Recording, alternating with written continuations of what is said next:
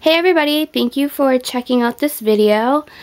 Today I'm going to be showing you my motivational wall. Um, if you've watched some of my videos, you may have seen it in the background and maybe have been wondering what it is. So I figured I'd go ahead and walk you guys through it. So we're going to start over here at the post-its. And as you can see, there's a bunch of numbers on here.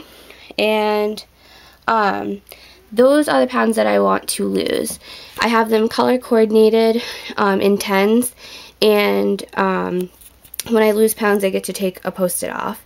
So that's just a good way for you to kind of just have a visual every single day of the work that you have ahead of you and also your triumphs from where you started to where you are now.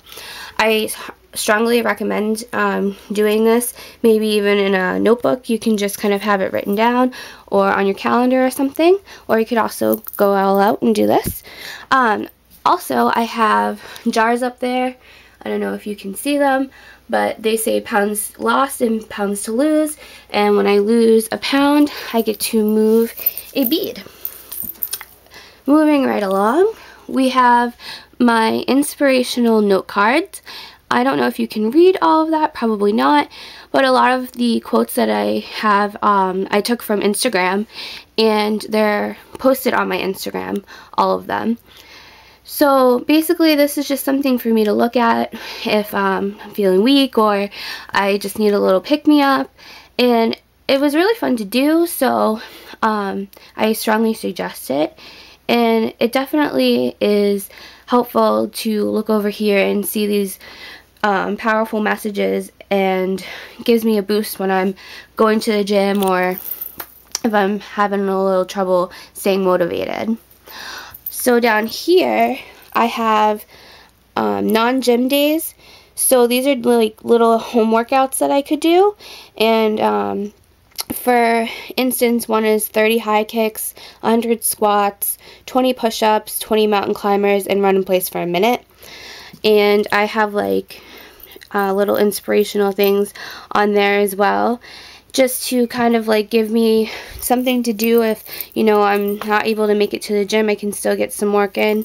And um, if I'm bored I have something already written out for me to do. I haven't actually done any of these yet. Um, I need to buy a mat because I have hardwood floors and my knees get bruised really easy. So anyway down here I have my reward system.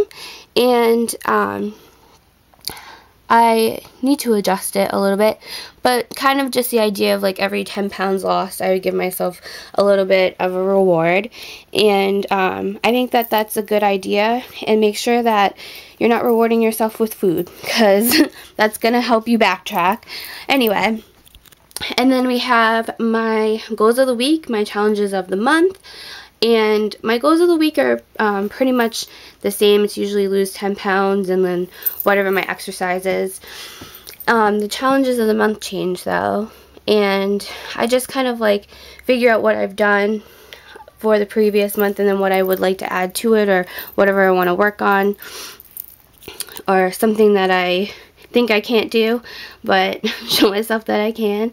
And I just wrote some inspirational things on there as well. And last but not least, I have the top 10 reasons I want to lose weight. Um, I did a full video on this, so if you want to check it out, I'm going to link it down below. And I think that this is probably the most important thing to do when you're on your weight loss journey. Sit there and really think about why you want to lose weight and write it down because having that visual is definitely going to help you. And, um, you know, when you have those days where you just kind of want to give up and something else like food or whatever um, seems more important than your goals, you can have it all written there to reassure you that losing weight is really what you want. So I hope that this video helped you guys and hopefully gave you guys some inspiration to do something for yourselves to keep you motivated.